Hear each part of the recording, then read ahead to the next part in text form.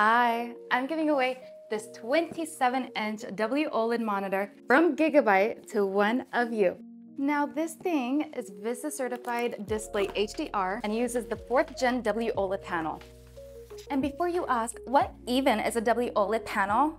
Let me explain real quick. Most OLED monitors light each pixel individually, which is awesome for contrast and deep blacks, but this WOLED panel with primary RGB tandem OLED tech stacks two OLED layers together. Yeah, cool, right? Which means it's got way higher brightness, color accuracy, longer panel lifespan, and of course that classic OLED contrast with instant 0.03 millisecond gray to gray response time and 280 Hz refresh rate. Also hits up to 1500 nits of brightness, covers DCI P3 and BT 2020 color spaces, and does it with reduced power consumption compared to previous OLEDs.